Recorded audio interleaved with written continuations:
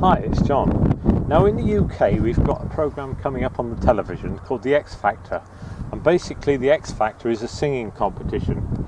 It's got very complicated rules, and uh, if anybody wanted really to know how it all works and didn't know already, I think most people would know already, uh, please look it up on Wikipedia because the X Factor Wikipedia site is just fantastic.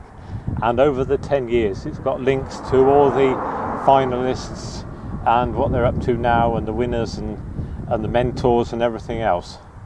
Um, but what I wanted to say about the X Factor, if you want to win the X Factor, um, the chances are that you probably haven't got sort of outstanding talent. Because if you did have outstanding talent, you wouldn't need to go on a talent show because you'd be like Adele or um, uh, other people who can just um, make it without actually uh, going on a talent show.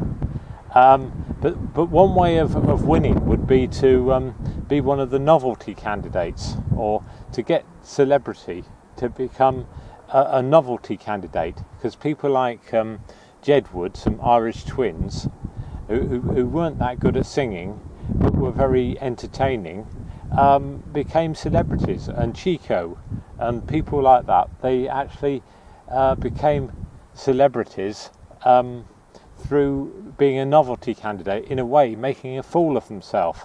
But the trouble is, it's a catch 22 situation because why does a person want to go on there?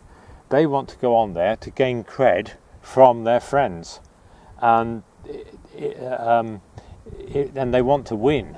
They want to uh, do well.